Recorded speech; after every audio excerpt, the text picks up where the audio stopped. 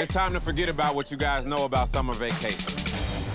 This is Fear Factor, so we'll see if you can make it on this summer vacation from hell.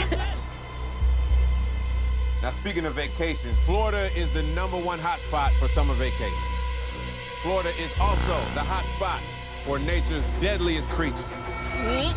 And by deadliest creature, I mean these. Uh. Oh. What? Is that chicken? chicken? Sorry, you guys. Uh, that was actually for my friend that's in there. Oh my god. Ah. Paulina, why don't you uh, open this box here for us? All right. Come on.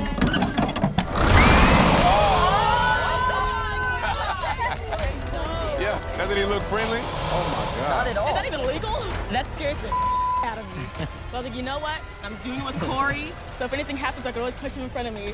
So on this summer vacation from hell, I thought why go to Florida when I can bring the best of Florida to you. I call this challenge feeding time. You and your partner will be locked in a room with some ferocious ass alligators.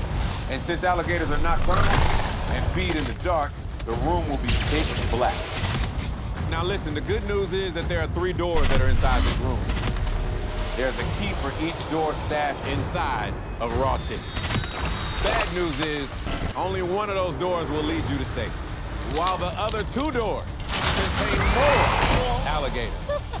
Alligators love chickens, oh and they also have night vision. Open the right door, and you guys are safe. Open the wrong door, and you guess what happens.